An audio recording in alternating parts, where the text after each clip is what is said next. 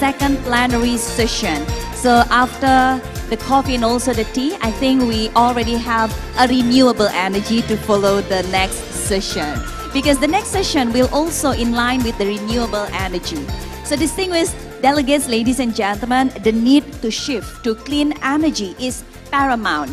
An equitable transition to clean energy or renewable energy requires more than efforts, but also strong commitments and also a really good uh, policy as we want to make sure that the transition will delivered in inclusive and also a just energy transition.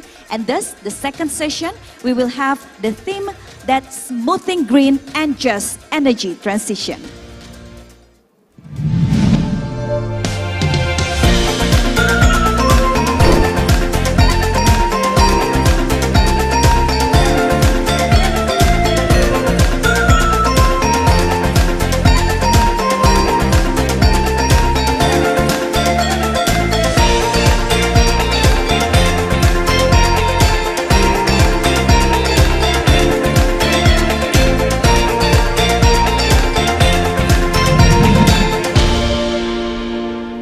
Ladies and gentlemen, in this session, we will be hearing the keynote address from Mr. Ashok Lavasa, Vice President for Private Sector Operation and Public-Private Partnership of the Asian Development Bank, and also a special address from the Chair of Energy Transition Working Group that will be delivered by Mr. Yudo Dwinanda Priaadi.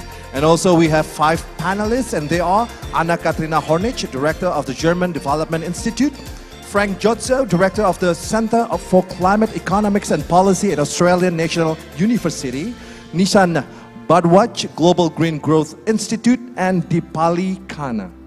And this session will be, of course, led by our chair, director of the Center for Global Sustainability at the University of Maryland. So he is the founder and also director for the Center for Global Sustainability at the University of Maryland and professor in the School of Public Policy. His work focuses on the developing, setting and achieving ambitious national climate goals. These include the U.S. emissions mitigation policy, rapid coal phase-out strategies in diverse national contexts, and also the economy-wide emission strategies in the G20 countries, with a focus on China, Indonesia, India, and also many other countries. He was recently the senior advisor for the Special Presidential Envoy for Climate at the U.S. Department of State, in which he has involved in many projects like the negotiations of the U.S.-China Joint Glasgow Declarations at COP26, and then also the U.S. Uh, long-term strategy and also the U.S. national climate strategies and emissions targets in advance of the announcement of the U.S. 2030 climate target. In the Obama White House, he has helped develop the 2025 US NDC and participated in the Paris climate negotiations. So he is the man, of course, behind of the many uh, important things in uh, re reducing the uh, glass emission, the uh, greenhouse emission. So now, ladies and gentlemen, without further ado, please welcome on the stage the chair for this session. This is Professor Nathan Hultman.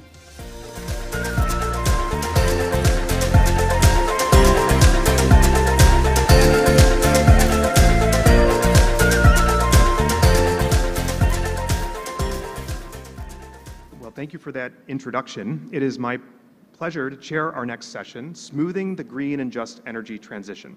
Energy is a crucial part of development, yet conventional energy we have found has significant limitations as a rap and a rapid, just, and affordable energy transition is urgently needed as it is pivotal to ensure long-term energy sustainability, to reach national economic development and health goals, and to help support reaching global climate goals. However, the energy transition cannot be done by a single country alone, and moreover, global cooperation can greatly enhance the effectiveness and impact of the transition and enhance benefits for each country. Financing, government and institutional support, as well as thoughtful integration of new research and analysis will be required for a smooth transition. This transition, when well done, will serve to enhance quality of life and economic vitality for our people around the world. This is where the G20 plays a pivotal role to ensure uh, a smooth and rapid green and just energy transition and is the topic of this morning's discussion. Today's session will feature a keynote speech, a special address, and a panel discussion with a group of distinguished experts. At this point, I would like to invite all of our panelists to please join me on the stage.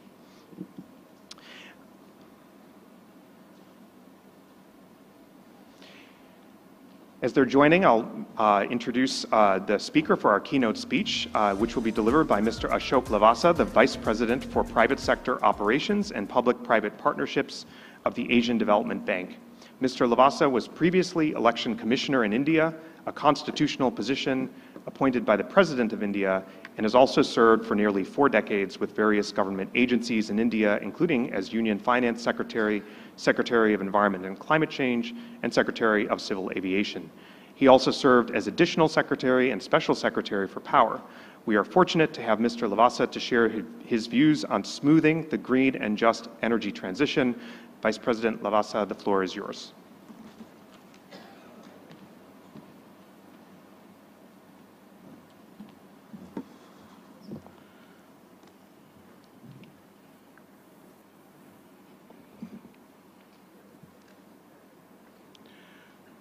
Good morning, uh, ladies and gentlemen.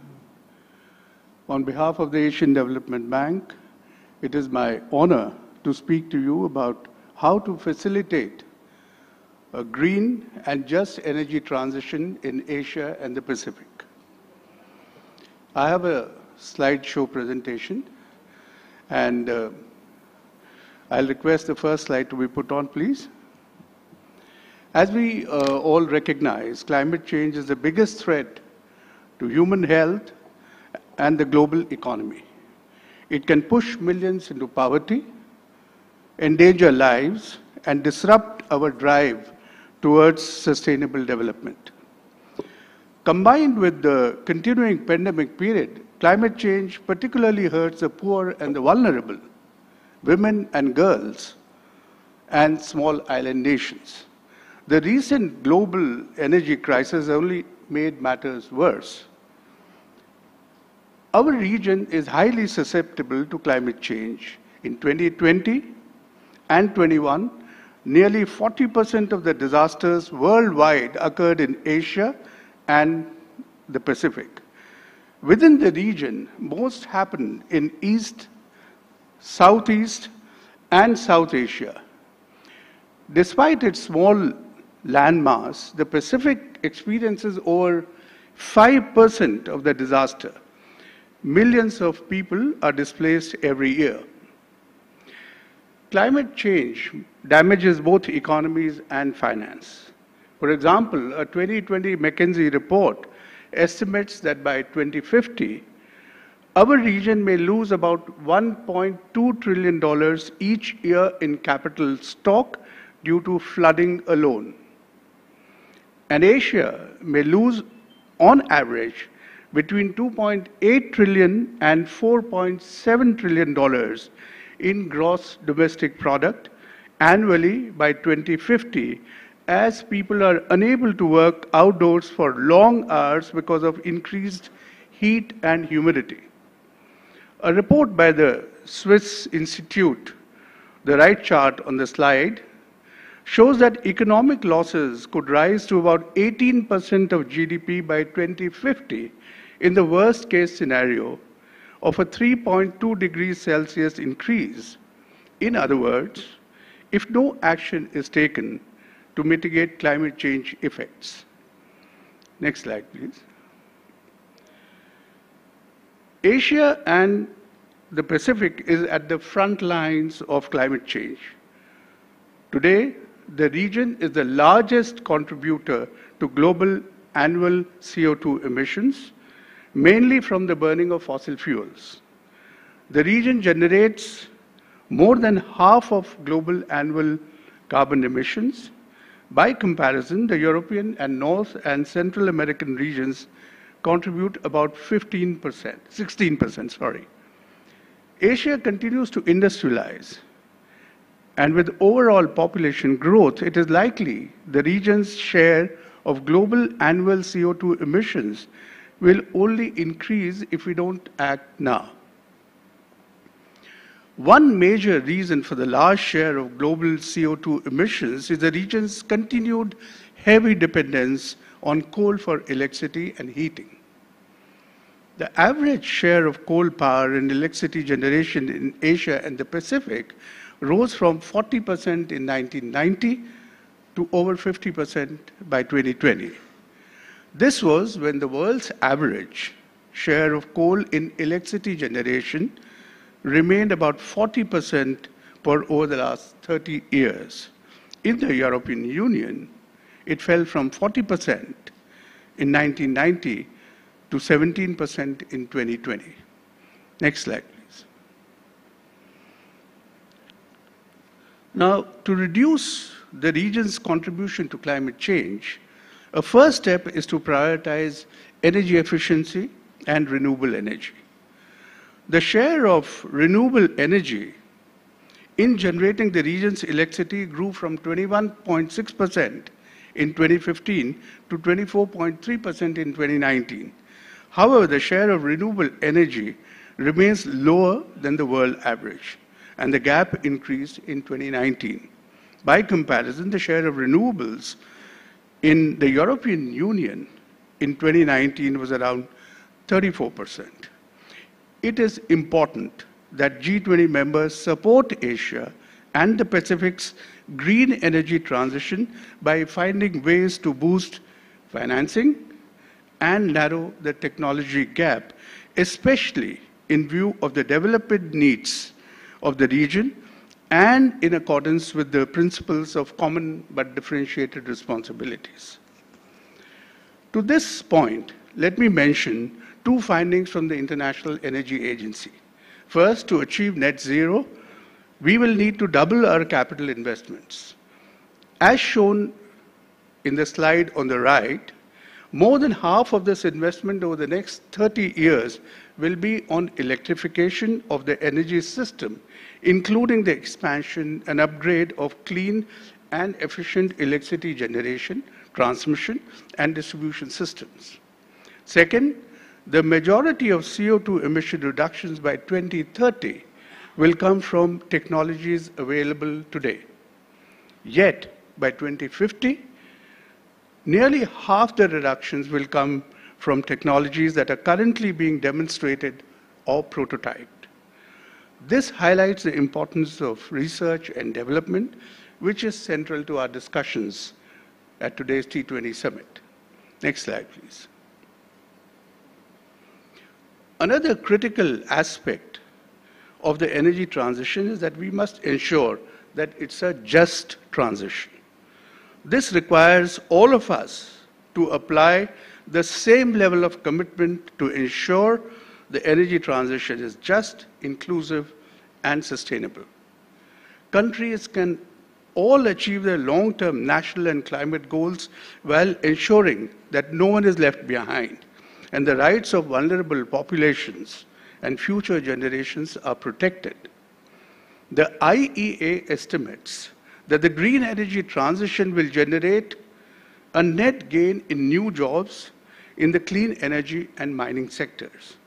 But it is important to remember that while these new jobs will outpace losses in fuel, fossil fuel sectors, we must address these jobs the job losses as countries transition from coal, oil, and gas. Workers, communities, and women must be protected from the negative impacts of the energy transition. For example, through social protection measures. More than half the new jobs in the clean energy sector are highly skilled, with over a quarter medium skilled.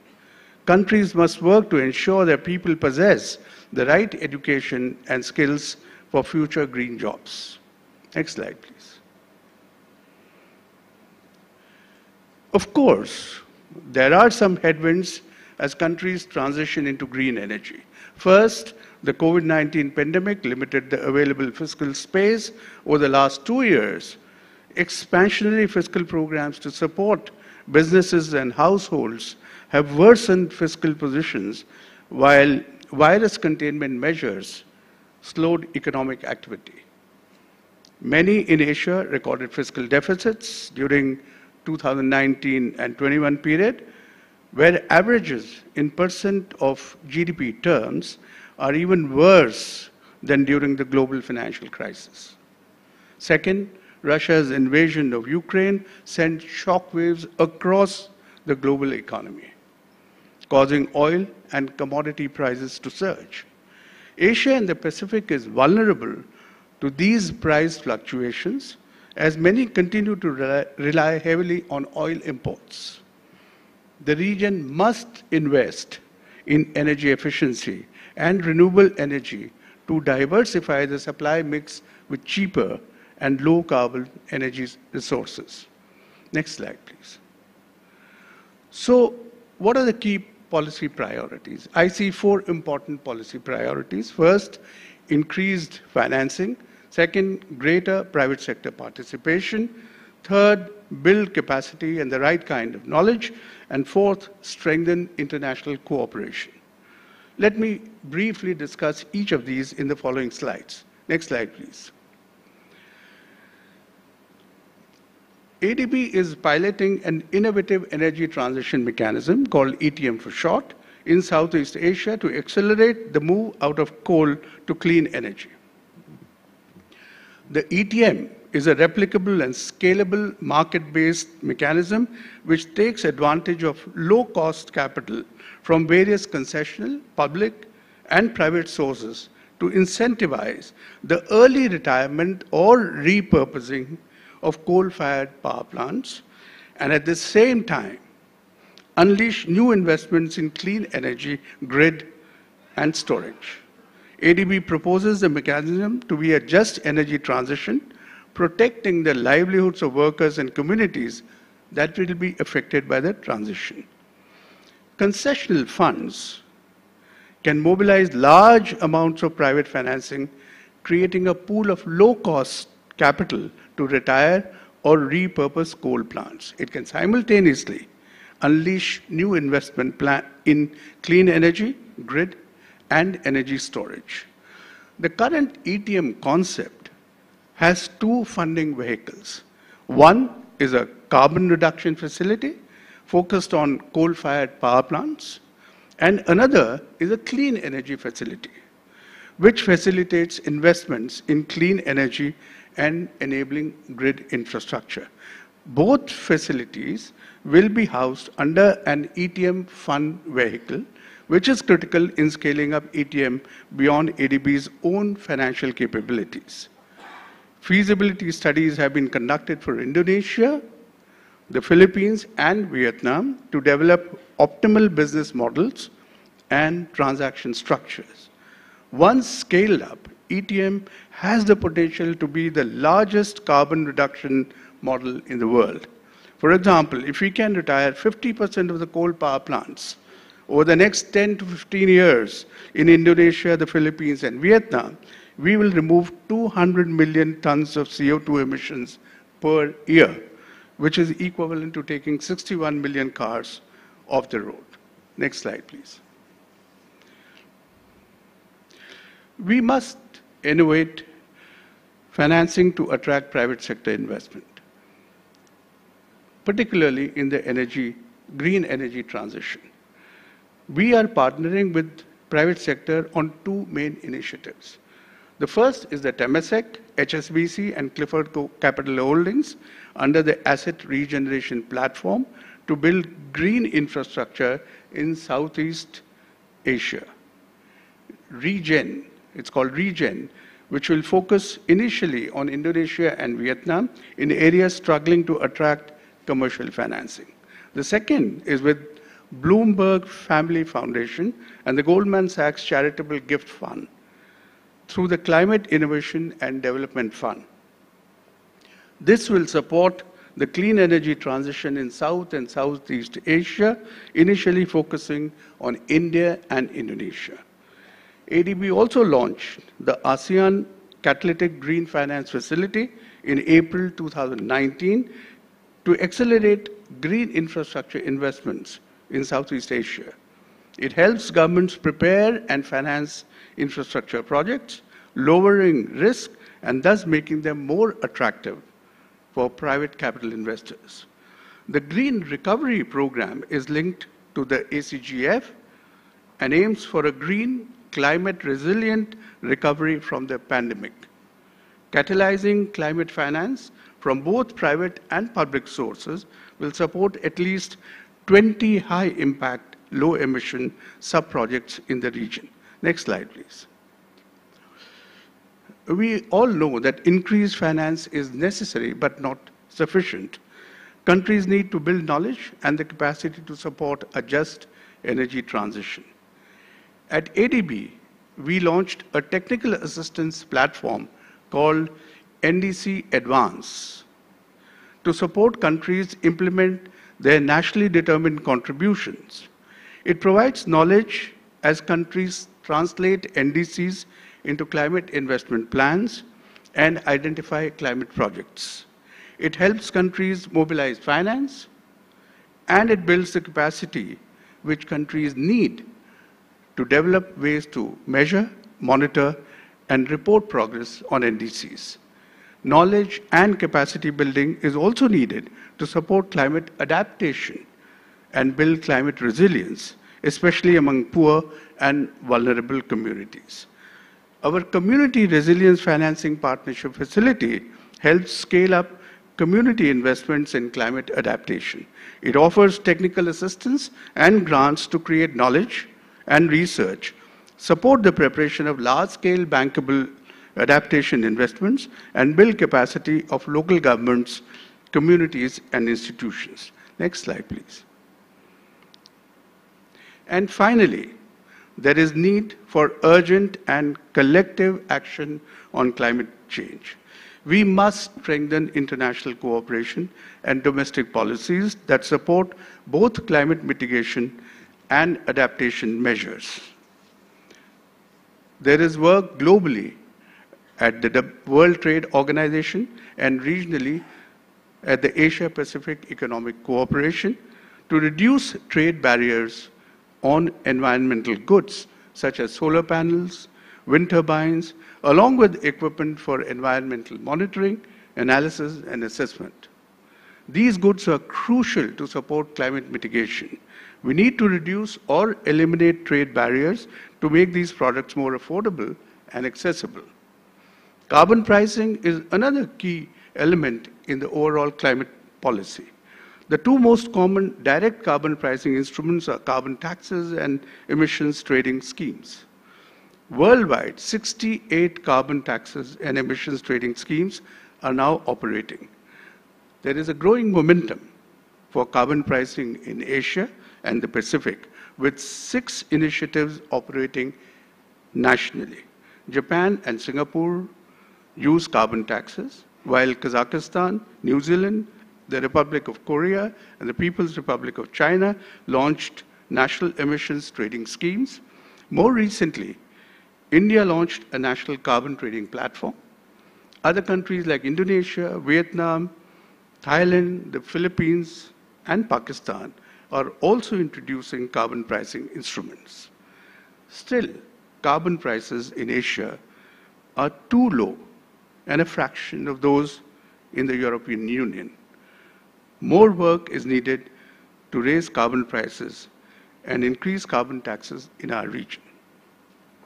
In closing, let me reaffirm Asian Development Bank's commitment to support our developing member countries in transitioning to a greener and more prosperous, inclusive, resilient, and sustainable Asia and Pacific as they continue to pursue their journey of economic growth and implement sustainable development goals. I thank you for your patience and I look forward to the session and the discussion. Thank you.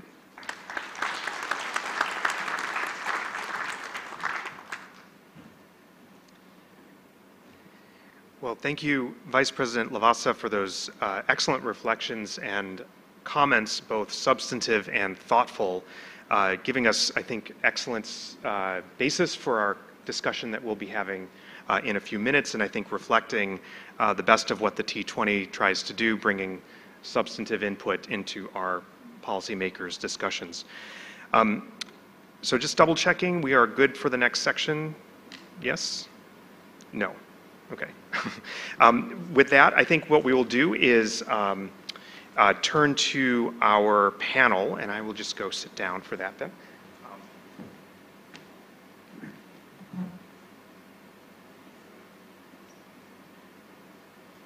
Okay, so um, as we transition to the discussion then, to discuss uh, some of these topics in the broader context of uh, the topic of today, smoothing the green and just uh, energy transition, uh, we will now turn to our uh, panel conversation.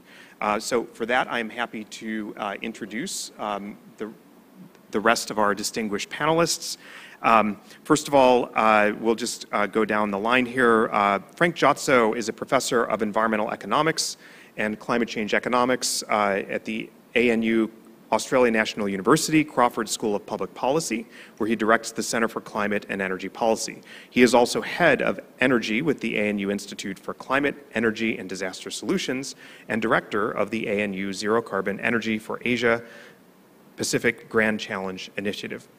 Um, immediately to his right, Professor, uh, Professor Dr. Anna Katharina Hornidge is director of the German Institute of Development and Sustainability and professor for global sustainable development at the University of Bonn. In her research, Professor Hornidge focuses on the role of different types of knowledge in and for processes of change, as well as questions of natural resources governance in agricultural and marine contexts. Uh, Nishant Bhardwaj is the Global Sector Lead, Renewable Energy, and Deputy Director of the Global Green Growth Institute.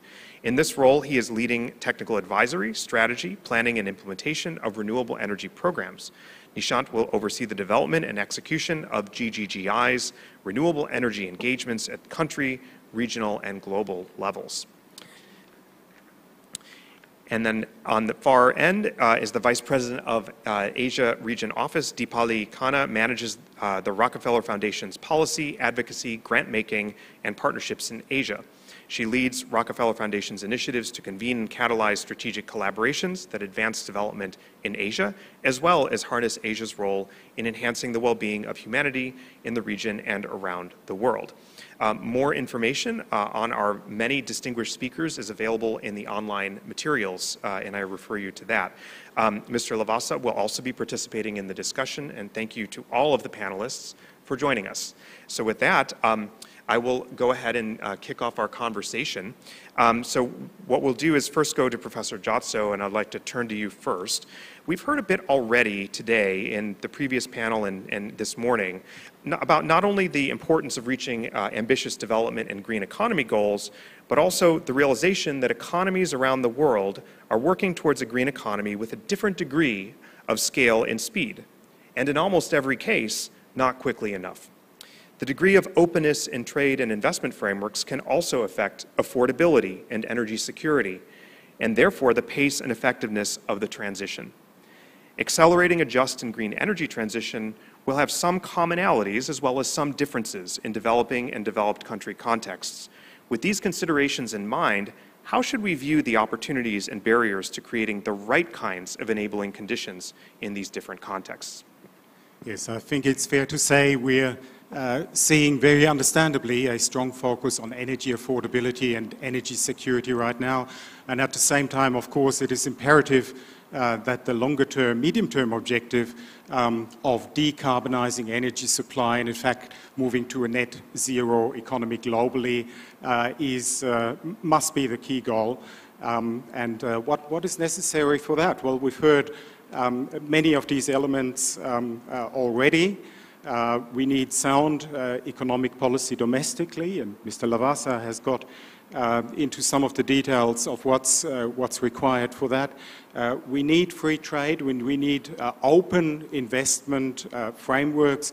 Economic uh, isolationism will throw us back. and Dr. Chatib Basri, of course, reminded of the, us of that in the opening session. And G20, T20 uh, provide a great opportunity for necessary exchange between countries, between governments, be, between civil society and the research sector uh, about the best way forward, uh, as Professor Drysdale, uh, among others, uh, reminded us.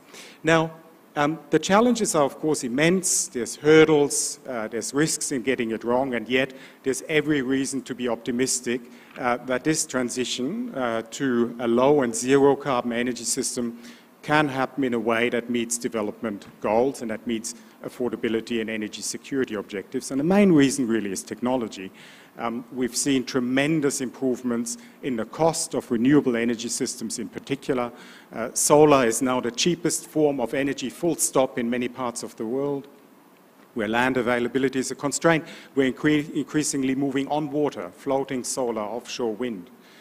Battery storage and other forms of energy storage are becoming rapidly uh, more affordable. And of course, in many parts of the world, carbon capture and storage, and in some parts of the world, nuclear energy also have an important role to play.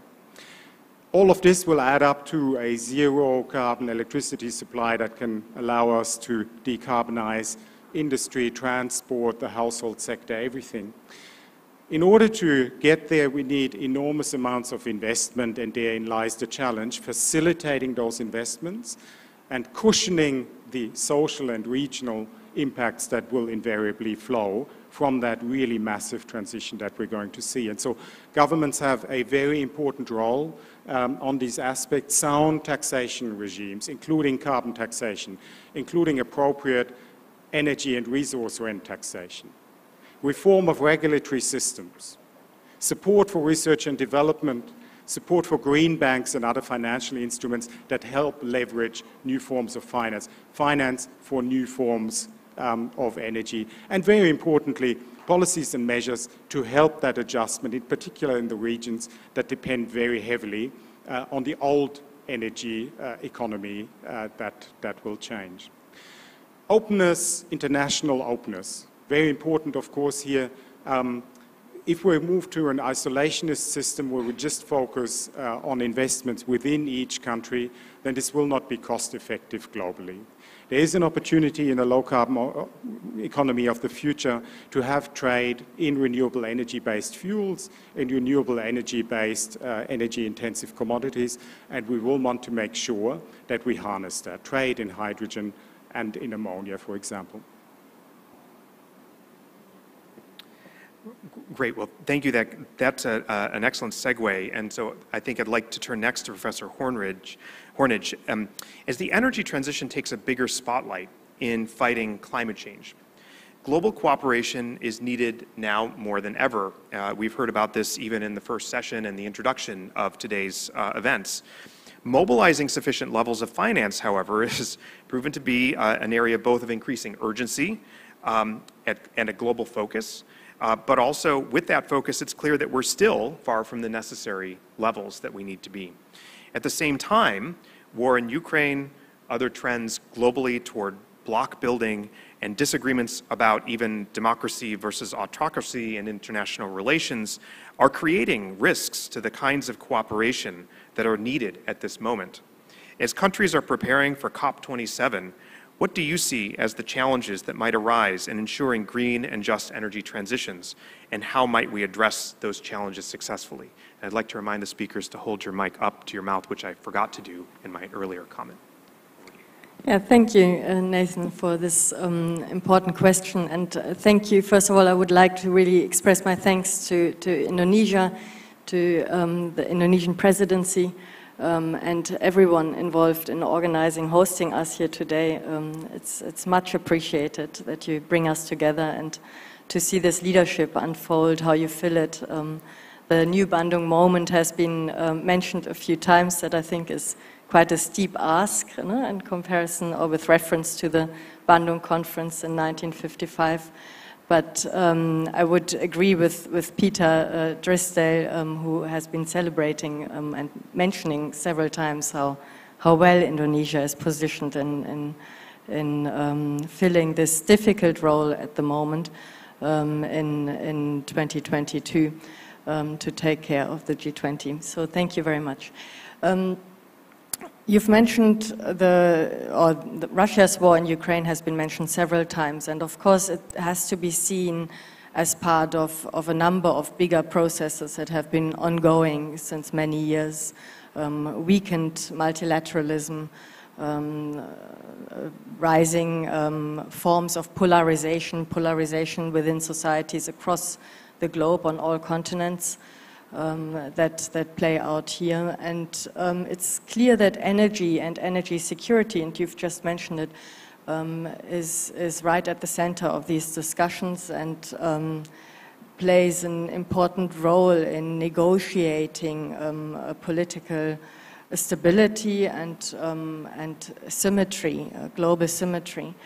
And at the same time, I think it's also important uh, to remind us of of the fact that the vote that we all witnessed on the 2nd of March uh, this year on the level of the General Assembly of the United Nations with regard to the resolution um, regarding uh, the war in Ukraine um, would have looked very different if we had mixed um, mixed uh, topics and discussions of um, democracies versus autocracies, for instance, so political regime discussions with uh, the reflections on international law, sovereignty, um, and the respect for, for, um, for territory. And what I'm trying to say with this is I think it's, while energy security is, of course, relevant to geopolitics, it's um, out of a climate perspective very important to not geopoliticize it too much, yeah, but rather to um, step away and, and agree on the fact that climate change is, as a global challenge, so important that we need to come together fighting it irrespective of our different um, political perspectives and, and regimes. Um, that's my first point. My second point is um, regarding the, the financial question. Of course, the 100 billion uh, climate financing that has not been met yet and um, is repeatedly not being met is, um, is, an, is a substantial issue and it's no question um, that it has to be uh, met in, in, the coming, in the coming years, in the coming two years as soon as possible. It's a question of credibility actually by now. And at the same time, we also know um, we are facing much bigger sums. Um, the, the costs calculated um, that, or the loss calculated for developing uh, countries um, annually caused by the effects of climate change amounts um, up to 300 billion USD, as said, annually. So um, we, we know the mobilization, and you mentioned it already in your presentation, the mobilization of private capital is um, absolutely crucial. And for Sharm el Sheikh, of course, it is important to, to here also draw on, for instance, the, the um, report of IPCC, the work, Working Group 2 of the IPCC, underlining um, the element of climate justice as a, as a core point for the discussions in Sharm el Sheikh and um, move forward on, on the questions of loss and damage. Here, with this, then also placing really an, an emphasis on adaptation and mitigation um, moving, so to say, the adaptation um, question into, into the focus uh, next to mitigation. Thanks. Well, thank you for both of those points, and um, very much uh, uh, well well taken on the uh, idea of moving ahead as, as much as we can collaboratively uh, eh, to, to, to see what we can do despite some of the differences that the countries uh, have uh, together right now. We can certainly agree on advancing, I hope, some of these, uh, some of these aspects uh, in the climate and energy space uh, beyond that. Let's turn, Mr. Bhardwaj, transitioning away from fossil fuels um, could, if done carelessly, and if done perhaps Uh, uh, recklessly result in higher prices. Uh, we've heard a little bit about that already, rising costs, other types of economic uncertainties, potentially even stranded assets, different kinds of shifts in jobs and the job in the, in the labor force, and concerns, at least, about energy security. All of these can affect uh, economic stability and they can also in turn affect politics uh, all of which is a critical part of sustainability and the longevity of sustainability. Can you comment on, uh, and maybe even give examples from some of the work you've been doing, of how you see these forces affecting uh, overall economic stability And as part of that, how might G20 processes like this one uh, help minimize impact and, ma and maximize benefits? Thank you.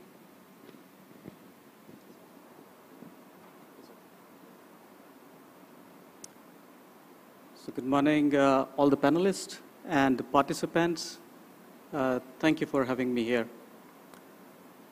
Uh, let me start by saying that three-fourths of the energy supplies and about 81% of greenhouse gas emissions comes from G20 countries. Therefore, the battle of climate change will be won or lost in G20 countries and just energy transition is going to play a very critical role when we talk about climate goals. 70% of the primary energy demand in G20 countries, and which include the emerging economies, comes from fossil fuels. Because the resources for the emerging economies and the developing economies is quite limited. Uh, to achieve the energy transition of that scale is going to be a very Herculean task. Not to say that this cannot be achieved, but this can be achieved, but we need the right strategies to do that. The other challenge with developing countries is decarbonize while developing.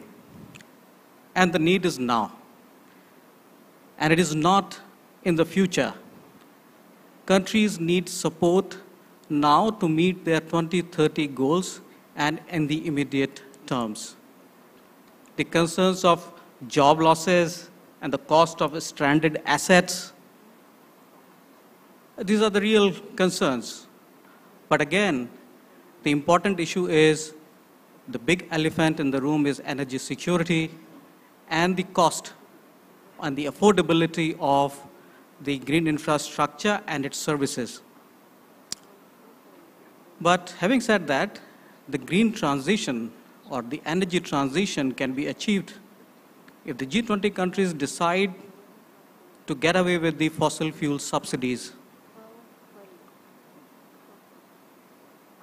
According to one estimate, about $100 trillion would be required for a complete energy transition between now and 2050 and the G20 countries provided $587 billion worth of fossil fuel subsidies every year it's from 2017 to 2019. So large part of this energy transition can be paid by getting away or phasing out energy subsidies.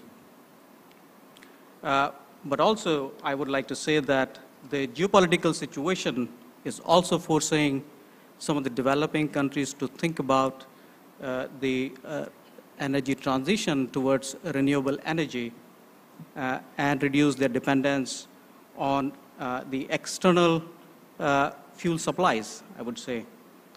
Therefore, the energy transition is a very powerful mechanism to create some kind of a resilience and uh, reduce the vulnerability of countries towards weaponizing the energy supply. I would like to uh, also say that uh, when it comes to affordability, uh, the countries need to come out with certain strategies to look into the practical measures for uh, providing green infrastructure services in an affordable manner to its consumers and industries. Let me illustrate that with an example. GGGI as the technical and financial advisor to the government of Madhya Pradesh in India uh, is helping to develop world's largest floating solar project. Frank just mentioned about floating solar. Those who are wondering what is floating solar, the solar plant that is developed on the water bodies. And normally the solar plants are developed on ground. That's called as ground-mounted solar. So this project has gone for international bidding process uh, for uh, selecting a project developer based on price of electricity that the utilities will purchase from. The price of electricity that was discovered through this process was double the cost of uh, the ground-mounted solar. That's what we are talking about, the issue of cost effectiveness and the affordability. Ultimately, this cost will be passed on to the consumers unless innovative mechanisms like carbon finance or countries decide to get away with their fossil fuels and create certain kind of funds to help an energy transition at a scale. So this is just as an example uh, to show that what countries could achieve and how the energy transition could be managed. Uh, you talked about jobs, Chair. Uh, so many countries, including some of the G20 countries, are already recognizing uh, the need for just transition. And they are mainstreaming a very important components of just transition into their recovery plans. That includes increasing the pace for green infrastructure development, which is the main means of creating the jobs, reevaluating their entire supply chains to look at if there are local jobs created through those, and also skilling and reskilling of workforce uh, because there will be need for new competencies for energy transition. And also making sure that before the financial incentives are provided, uh, there is a green consideration. All these are very positive developments uh, in, in terms of uh, uh the uh, linking of the financial packages. But what, what is important for countries to recognize here is that while we make this transition, there's a need for a fair and a well-structured transition for workers and enterprise, enterprises because they are the ones who are going to get affected the most. And this can be achieved through a consultation process and social dialogue, and I would say that uh, a very active labor policies. And I think this needs a governance at all levels. Uh, so just to give you an example of what GGGI is doing in terms of uh, some innovative policies that can ease the transition for marginalized. Colombia is world's largest, fifth largest supplier of coal and sector represent about 1% of the national GDP and provides employment for 35,000 people and provide royalties of about 760 million dollar to the local governments. As the global demand for the coal is going to do, go down, it is expected that the, the coal mining concessions will end in next 15 years. Therefore, the Colombian livelihoods are at risk, and there's an imminent recession for coal-producing regions. So GGGI is supporting the National Mining Agency to develop a climate neutral and economic transition strategy that includes emission offsets and socioeconomic transition through land use projects such as commercial forest plantation, agroforestry system, and productive restoration and conservation of natural forest. Uh, this strategy uh, will target creation of formal green jobs to benefit communities, livelihoods in short, medium, and long term in Colombia, coal producing, economically vulnerable, and dependent on uh, royalties from coal. So I'll stop here, Chair. Thank you. Thank you for those comments, and there's some uh, uh, cause for enthusiasm in some of the responses you've been getting to that, so that's exciting to see. Um, okay, so Ms. Khanna, let's turn to you. Um, one of the major bottlenecks uh, that we've, we've experienced for green investment uh, in developing countries is couple of pieces, high risk perceived by investors, and also the difficulty of aggregating enough finance uh, together to undertake projects in the right way. Um, so taking perspective of private investors or uh, other perspectives that you've been, uh, been uh, aware of in your work, what kind of uh, uh, approaches are available and needed to be expanded in the future, which might include, for example, de-risking instruments, blended finance, or other types of things? Where do you see real opportunities and the most sort of chance for quick innovation? Great, thank you so much. And I want to begin by thanking the co-chairs of T20 for inviting us. It's a real privilege and pleasure to be here today. Um, before I answer your question, I just want to provide some additional context. Um, 81 energy poor countries contribute 8% of carbon emissions. This, this um, is going to go up significantly by 2050 to 75% if these countries are not provided financing in the clean energy space. As of now, they're only getting 20% of financing, and even though they are really home to more than 50% of the energy poor people. We also know that 2030, the, decade, the UN um, decade of action, uh, where we're really trying to ensure that access to reliable, sustainable, and modern energy for all becomes a reality. However, what we are seeing is a decrease in international flows for renewables. If you just look at the numbers, in 2017, the flows were around for renewable energy at about $20.7 billion. In 2019, that's come down to $10.9 billion. And I think if you look at the numbers in 2022, it'll be further reduced because of the current crisis that we're facing, both as a result of the pandemic as well as the Ukraine crisis we need to ensure that this energy, so what, what one really wants to say here is that the energy transition that we want to really be pursuing should leave no one behind and make opportunities universal and sustainable for all. To ensure such a just, equitable transition, a massive amount of funding is needed. If you really look at India at this point of time, for India to achieve its uh, 2070 targets, they'll need $10 trillion. South Africa, which is the 14th largest carbon emitter, needs about $1.6 billion annually to reach, reach its climate goals by 2030. So there is a stellar opportunity, and I hate to say it's a stellar opportunity for the private sector, but the private sector can really step up to unlock increased funding in energy transition and enable a tomorrow where we can empower and protect the world's poorest and most vulnerable populations as you rightfully pointed out, of course it's risky.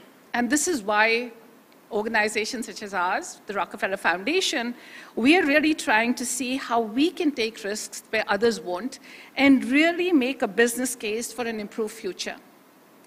Philanthropic capital can support financial product innovation and attract investors with proof of impact of scaling solutions and ultimately de-risk these investments for our colleagues in the world of business and policy.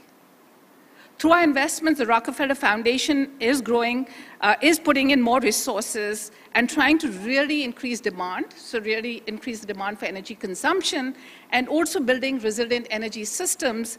So we are looking forward to really seeing how we can improve livelihoods, how we can provide better health outcomes, how can we help poorer communities to deal with the climate crisis. At COP26 last year, we launched the Global Energy Alliance for People and Planet, which, is, which aims to really unlock $100 billion in public and private financing to reach a billion underserved communities where they have access to reliable energy. They, we're also trying to mitigate reduction by 4 billion tons, uh, and we're also trying to see how we can really drive economic growth. Uh, spread across uh, continents of Africa, Asia, Latin America, the Alliance has key players where we have governments the Italian government, the UK government, as well as Denmark.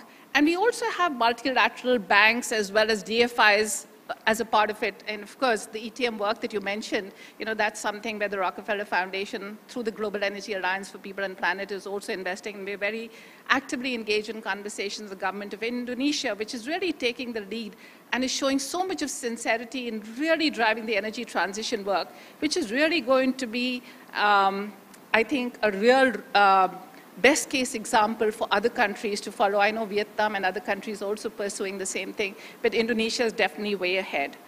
We've also been able to catalyze resources besides our resources from two other foundations. So we have the Bezos Earth Fund as well as IKEA that have also put in close to $500 million each. So $1.5 billion is coming from the foundations and the rest is being leveraged through the MFIs and the DFIs. So to enhance further collaboration and bring more multiple uh, stakeholders into this, Global Energy Alliance for People and Planet is also reaching out to the developing countries to really ensure that they can become part of this by really accessing technology as well as financing. So there has been a call for global uh, there's a call for transformational country programs, and we're hoping more and more countries will become part of this platform. And I feel this is what is really needed today.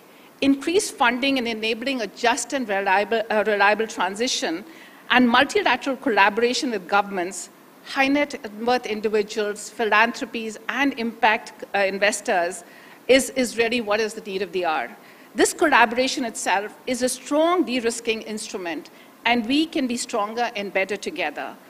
So our team at GEAPP is also trying to see how we can look at voluntary carbon markets as a potential area for interest to engage the private sector. These markets link net zero commitments from corporations with projects that can reduce carbon emissions. Um, I know this is, of course, it raises a lot of questions because there are questions around accredita accreditation and quality, but at the same time, it does hold a lot of potential. So that's probably an area where all the think tanks that are here can really delve deeper because this could really be exciting for the private sector. Projects, projects can range from those that are focused on really uh, removing emissions from the atmosphere to those focused on deploying renewable energy technologies. So there's a kind of wide spectrum where the private sector can be coming in. The vital role of investment in a net zero future being reflected, is being reflected really the world over. India's renewable energy investments is likely to cross $15 million, $15 billion in 2022. And we are seeing that the industry leaders, government, as well as companies that are gradually venturing into the clean energy market.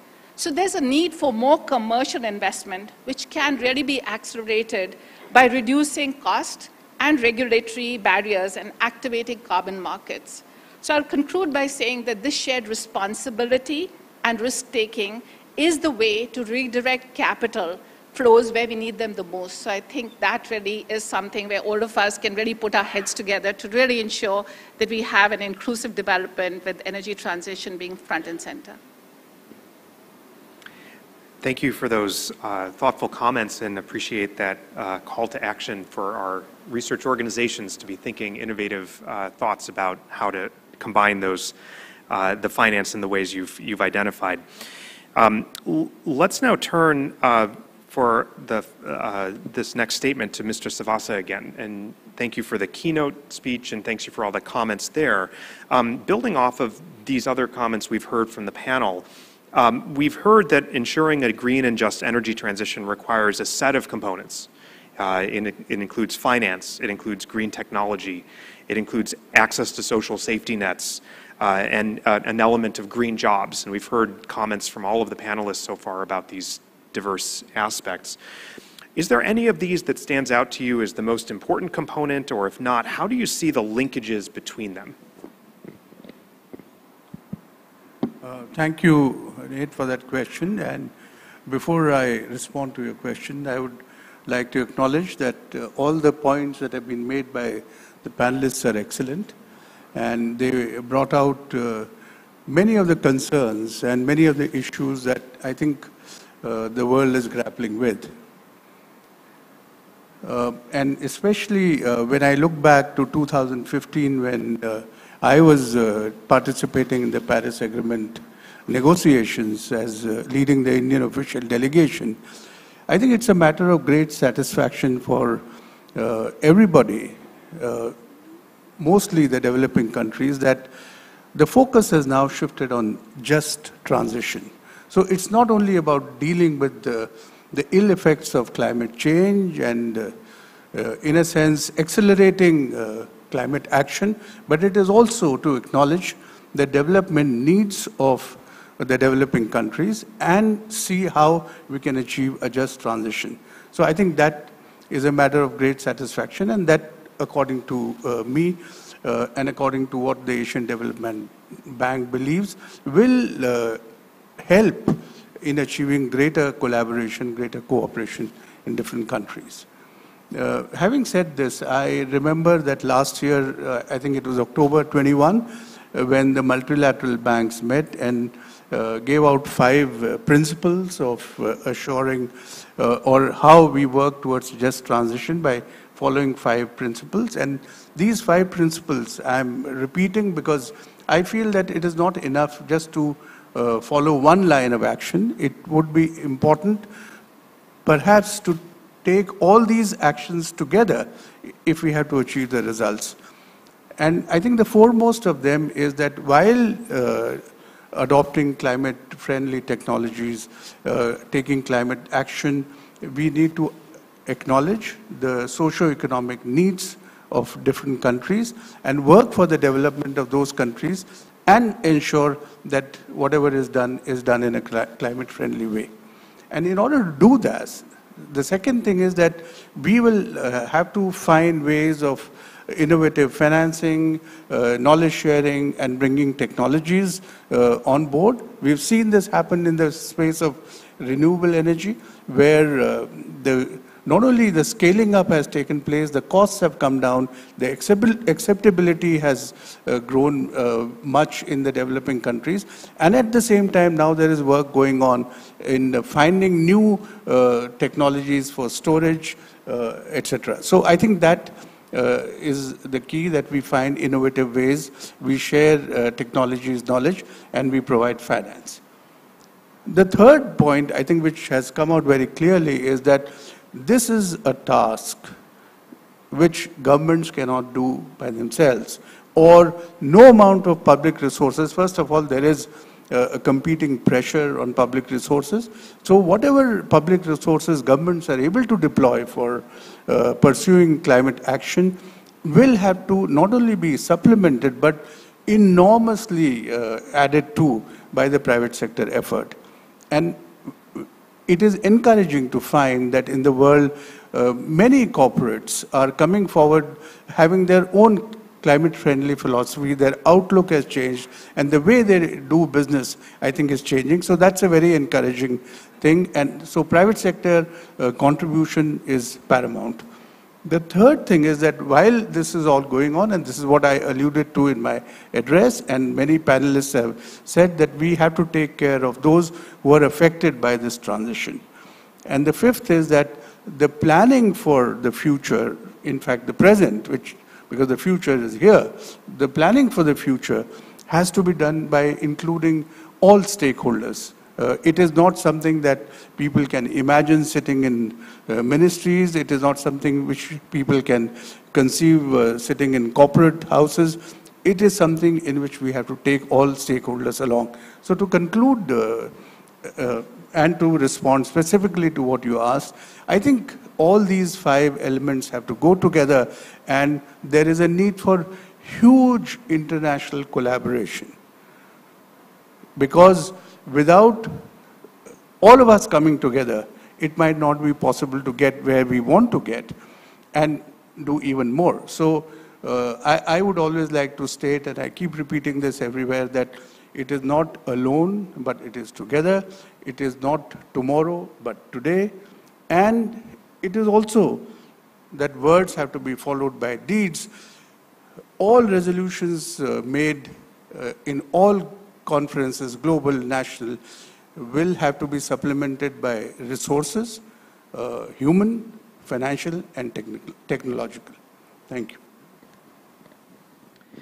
Thank you for those comments, which also helpfully uh, synthesize some of the other thoughts that we've been hearing from the other panelists. Um, since we have limited time, I'd like to propose a very quick lightning round of one-minute responses from you all. Um, we're here as part of the T20, which is an important input to the overall G20 process.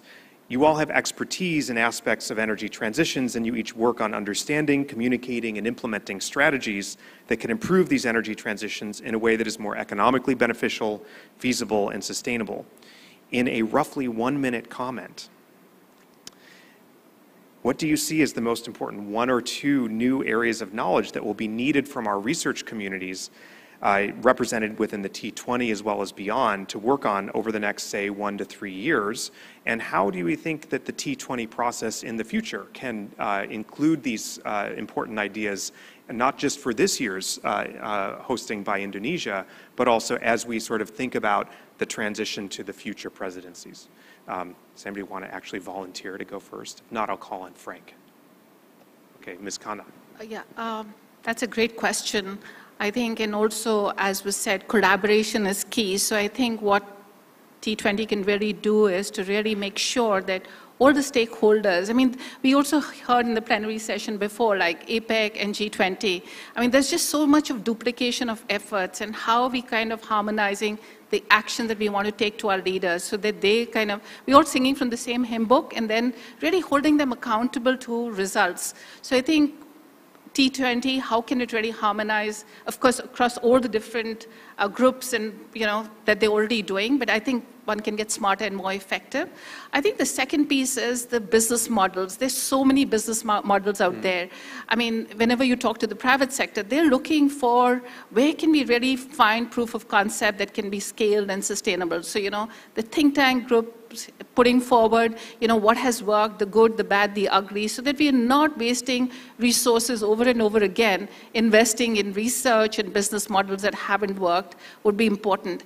Also, one has seen, you know, there's a need to reduce costs, there's a need to reduce the regulate, I mean, there's a need to really address regulatory issues. So, you know, how can we look across the G20 countries, their best practices? There's a lot of knowledge out there. How can we have a more vibrant platform where in real time countries can learn from each other and really advance the work as opposed to just uh, reinventing the wheel over and over again?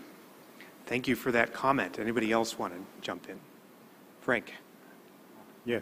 Well, uh, we need to deeply understand what works and what doesn't and why on energy transition, and especially in developing countries, right? And so, to say it very clearly, this is a developing country and industrializing country story. This is where the great majority of investments are needed in growing economies, right? Um, and this is where the adjustment, of course, will also most, be most difficult. I live and work in Australia where we think we have a problem because we produce and export some coal, right? Um, look at developing countries where these sectors are really large and a transition uh, effort in, in, involved in that, right? Um, and so best practice, you just mentioned best practice. Um, we can think of uh, institutional strengthening based on the T20 and G20, we could establish something like a best practice forum on energy transition. Okay, uh, this could be something where the T20 comes together with the B20 and the G20 mm. um, as uh, as a body that has some longevity, some continuity at the working level. Right, Tell, take the politics out of it, establish some trust, have the officials this community, the business community, get together. Could be a great legacy mm-hmm. from the Indonesian T20. Uh, yeah. India's T20 could take it up. Brazil and South Korea, uh, South Africa, sorry, uh, could could really mm-hmm. develop this uh, into something um, that that has a lasting impact. Please, yeah. And then best practices, I know I said that, but you know, um, how can we create a forum where we can fail fast and learn fast? Because if we talk about best, there's so much of learning that comes out from failure. So I think if we can really have create that forum where it's okay to fail because there's no ready-made pathway, right?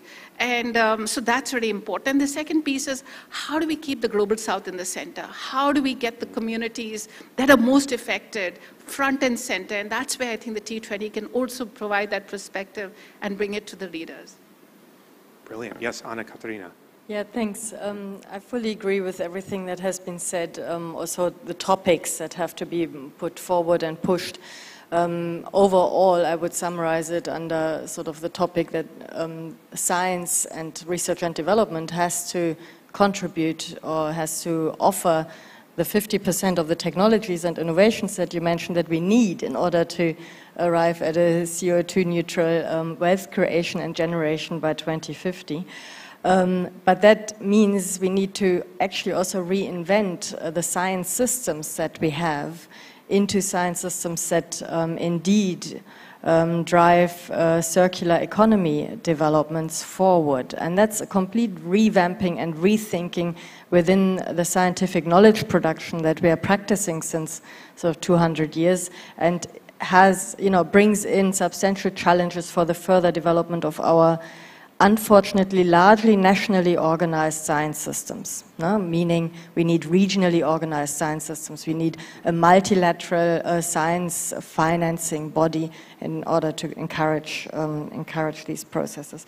And second aspect I just want to take up, I mean, um, together with Dennis Snower and the Global Solutions Initiative, um, and we are currently um, organizing the, the T7 process within the German um, G7 presidency. And as part of this, witnessing um, how a new government that was elected uh, November last year, or came in November last year, is finding itself in and is challenged by finding its own sort of global leadership um, role.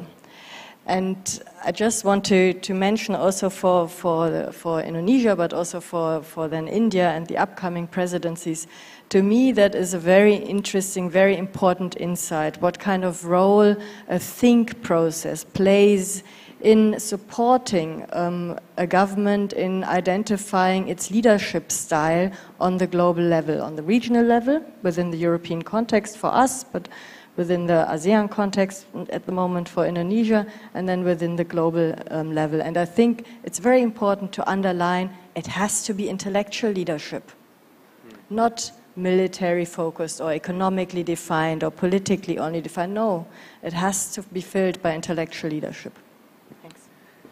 Great concept there, and I, I love the intellectual leadership dimension of this. So um, we really just have about two minutes. So um, Nishant, did you want to pipe in and then yeah, we'll wrap up with Mr. Yeah, thank you, Chair, for giving me the floor. I just want to make uh, two uh, recommendations here, uh, and the practical, because you talked about research.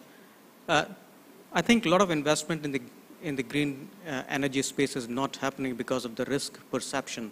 I think there's a need for developing a risk uh, management instrument, or the. so I, I would say that the think 20 should work on developing de-risking instruments uh, and doing a research on that, what would make the change in the landscape. The second, very important, is how do we phase out fossil fuel subsidies? And I think it's, it is Think 20 that needs to come out with those strategies to phase out uh, the subsidies. If you look at the data, G20 with their respective MDBs actually provided two and a half times more public finance to the fossil fuel compared to renewable energy in 2019 and 2020. So that's the scale that we are talking about. And we have to come out with some practical strategies and through a task force that is empowered to negotiate with countries to say that what is their timeline to phase out fossil fuel subsidies. So I'll stop here. Thank you. Thank you. And Mr. Lavasa, can you wrap this Uh, up? Thank you. I don't think I can say anything uh, different from what has been said uh, by all the speakers. Uh, but I think there are three elementary things that we must uh, revise and reinforce again and again. One is the development imperative. People want to grow, people want to prosper, people want to develop. So that right to development is fundamental, it has to be recognized. The second is that growth in the past and global cooperation has helped a lot in development. So that element has to be recognized. And the third is that energy has fueled growth, at least in the last three, four centuries, it has been very critical in fueling growth. So the energy requirement and the energy security needs of for development, I think that has to be recognized. And in order to make energy uh, adequate, affordable, and accessible, I think we need to put in as much resource as we can to meet the energy requirements of the world. And finally, I, I would say that uh, uh, we have to unleash as much intellectual power as we are capable of, or probably more, in order to unite, in order to provide solutions.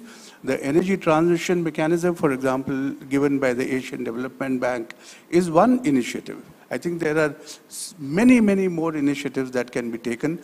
And uh, what, what uh, we would like to foresee is uh, a collaboration uh, in finding technologies in the world which are easily available to everyone. So I think uh, we are moving in the right direction, but we need to move probably a little faster. Thank you. Thank you for those comments and um, a great call to action for all of us to think about what we can do uh, better and more quickly to help support our political leaders as they're thinking through all these important issues. So uh, I want to thank the panelists. Uh, please stay up on the on the stage for a few minutes because we actually are going to. Uh, we have good news that we have uh, now the ability to uh, welcome virtually um, Mr. Yudo Dwinanda Priaadi, uh, to provide the special address on the outcomes of the Energy Transition Working Group. So we'll transition very briefly to that. Mr. Priaadi is on the expert staff of the Minister of Energy and Mineral Resources for Strategic Planning as chair of the Energy Transitions Working Group. Uh, he has a bachelor's degree in chemical engineering from Bandung Institute of Technology and a master's degree from the Massachusetts Institute of Technology. So with that, uh, we will wrap up our session today by hearing the inputs uh, from uh, Mr. Uh, Mr. Priaadi, and then after that's done, we'll wrap up the session.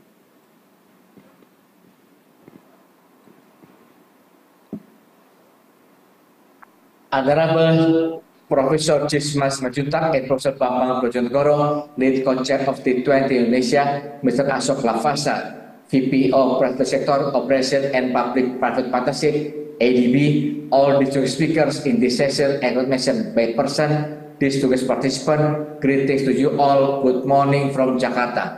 My name is Yudo Priyadi. I am the chair of G20 Energy Transition Working Group ETWG. I am pleased to deliver the special address of the second plenary session of the T20 Summit. I am delighted that this plenary session and the summit share strong correlation each other this session has themed on smoothing green and just energy transition, while the T20 summit addresses the main theme of strengthening the role of G20 to navigate the current global dynamics. Combining them both two main themes, I would like to address to you all that is the G20 leadership roles to navigate the current global dynamics through energy transition that just, equitable, affordable, green, and sustainable. G20 leadership role prevails for two decades as the most premier economic forum as well as the club of major producer and consumer of energy. G20 comprises a series of significant economic and energy dominance, 80% of global industrial output while covering 80% as well of global GDP. 75% of international trade, 81% of carbon emission in energy sectors, and 77% of global energy consumption. These facts are highly influential to signal the global markets and guide international communities towards global agenda in energy and economy. As many of you have known, energy transition has become one of three main pillars of G20 Indonesian presidency. These are three pillars that the presidency considers relevant to our current global challenges global health architecture, digital economic transformation, and sustainable energy transition. These pillars are expected to actualize the presidency maintain recover together, recover stronger, which international communities are currently dealing with. The energy transition pillars aim to strengthen and accelerate a just energy transition. The Forum of Energy Transition set three main priorities on access, technology, and finance.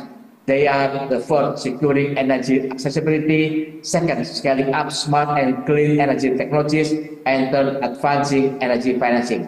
I am proud to share with all of you that G20 ETWG meetings has, has been just recently concluded by Energy Transition Minister Meeting, ETMM. We have done the meetings of ETWG3 on 31st August to 1st September and ETMM on 2nd September in Nusa Dua, Bali. After lengthy and tireless negotiation and session, G20, ETMM, and ETWG third has have finally agreed the consensus document of Bali Compact. Briefly speaking, briefly speaking, Bali Compact consists of nine principles with its support part. Bali Compact represents and compiles a policy foundation to underpin G20 action to accelerate energy transitions which are clean, sustainable, just, affordable, and inclusive. Bali Compact will send clear signal to the international community how about G20 as the global economic powerhouse should deliver this critical decade of action for achieving the goals of Agenda 2030 on sustainable development and Paris Agreement, as well as highlighting practical action to achieve long-term goals of net zero emission or carbon neutrality commitments. We do hope that Bali Compact could be brought forward to G20 summit in Bali. Here is the summary of the main points of the nine principles strengthening confidence and clarity in international planning in implementation and review, enhancing energy security, market stability, and affordability. Third, securing resilient, sustainable, and reliable energy supply infrastructure and system. Fourth, boosting energy efficiency measure. Fifth, diversifying energy system and mixes as well as lowering emission from all energy sources, catalyzing sustainable inclusive investment at scale, collaborating on mobilizing all sources of finance, aid scaling up innovative, affordable, smart, low, and net zero emission technologies, and last one, building and strengthening innovation ecosystem that boosts research, development, demonstration, dissemination, and deployment. The presidency's year of 2022 becomes a never easy year for all economies our key deliverables in the transition pillar aim to address several concerns with the spirit within the spirit of presidency of Recover Together, Recover Struggle, which are truly important to be elaborated by T20 Forum. First, more resilient global energy system are needed to address the urgency to rapidly transform global energy architecture These need to become more secure, reliable, and resilient, as well as advancing energy security to accelerate and ensure clean, sustainable, just, affordable, and inclusive energy transition. In fact, at national level, countries have their respective challenges and need in transitioning their energy system to become more sustainable. The existing energy structure and system from infrastructure to establish organization system should be continuously transformed and adjusted to, re, to respond global challenges and support energy transition. Second, strengthening efforts to achieve global goals are needed to reaffirm our commitment to achieve target of SDGs, Paris Agreement, and Glasgow Climate Pact. Challenges remain and getting more complex after the pandemic year, there are around 2.4 billion people without clean cooking access and around 730 million people without electricity access. Meanwhile, beyond those basic universal energy access, we need to eradicate energy poverty and attain modern energy minimum requirement for a thousand kilowatt hour per capita per annum to achieve energy equity both in developed and developing countries. The technology availability should be increased to more than 50% to support energy transition with innovative technologies while increasing more robust, clean energy investment in energy market and developing economies. Innovative sustainable financing need to mobilize for tapping opportunities from the fulfillment of US, US 1 billion, 100 billion dollar climate financing as well as multiplying annual investment to scale up the share of clean energy sources. Third, international cooperation must become the key factor to enable partnership toward just, affordable, reliable, and sustainable energy transition. We need to strengthen collaboration for innovative partnership and ensure both financing and access to the necessary technologies. Countries with less capacity and heavier burdens in the clean energy transition should be technologically, technologically and financially supported.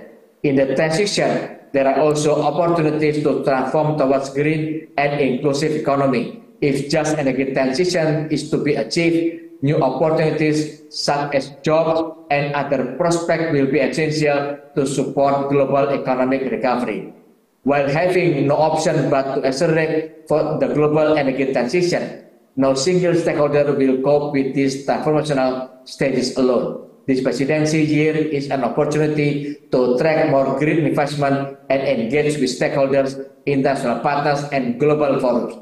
All in all, I want to address my highest appreciation to T20 for addressing energy transition as one session in the summit. As the strategic thinker forum for G20 members, I hope T20 can continue to amplify energy transition pillars within the framework of just energy transition. This, amplific this amplification indeed will represent the multi-level significance of just transition in the global stage as well as Indonesia's and developing countries' perspective on achieving Agenda 2030 of SDGs and also zero emission or carbon neutrality commitment. Indonesia has begun the first of four consecutive G20 presidencies from emerging markets and developing economies. Our presidency will be followed by India 2030, Brazil 2024, sorry, India 2023, Brazil 2024, and South Africa 2025. Clean and just energy transition will become the global solution towards the current and future challenges for achieving sustainability. In this regard, I do believe that G20 will advance the issue and pathways to achieve just and orderly energy transition as well as enhance the G20 role in navigating global dynamics. Without further ado, for G20, I wish you all have a successful summit. Thank you.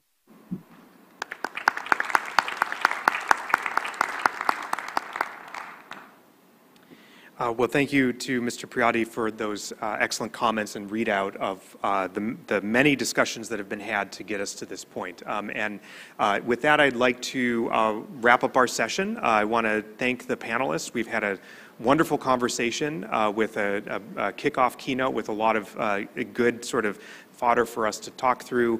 Uh, we've talked about the challenges that we face as a global community, talking about the opportunities to work together toward uh, thinking about accessibility, uh, mobilizing finance, and delivering it in a just and equitable way uh, for the energy transition. So with that, um, thank, let us thank the panelists, and we will uh, break for the next phase, which I believe is lunch.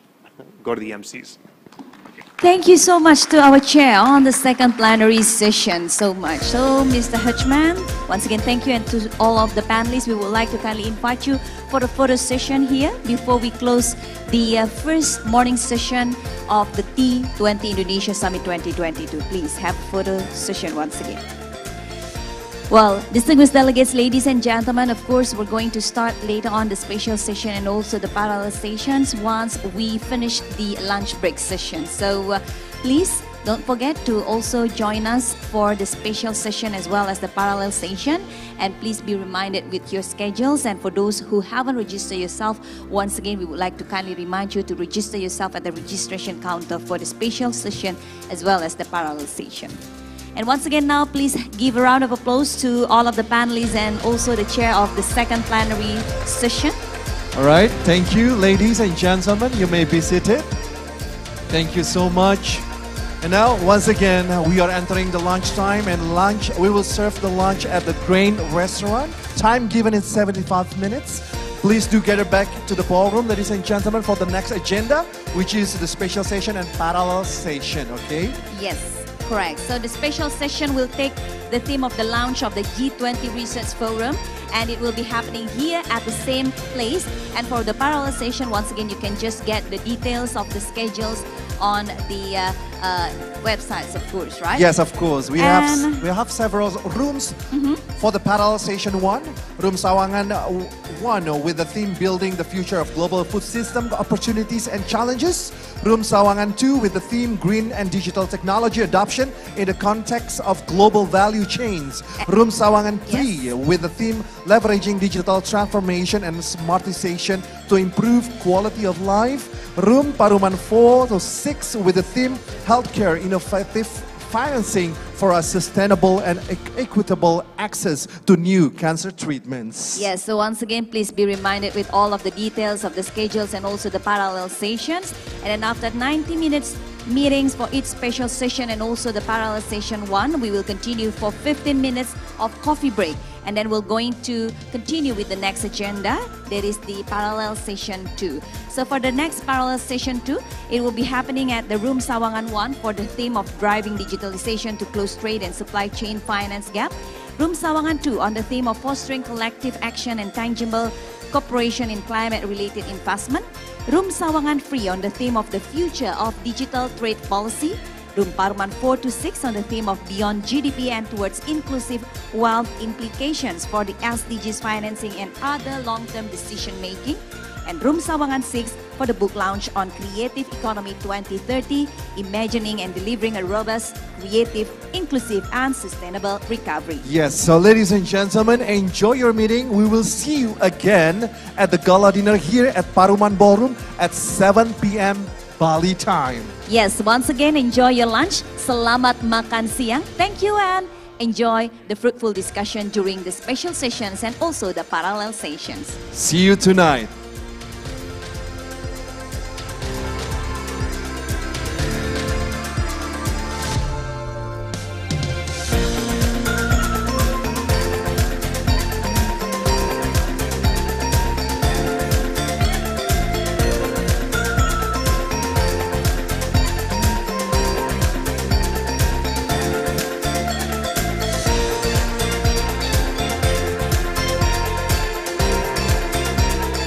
May we have your attention, please, distinguished delegates, ladies and gentlemen.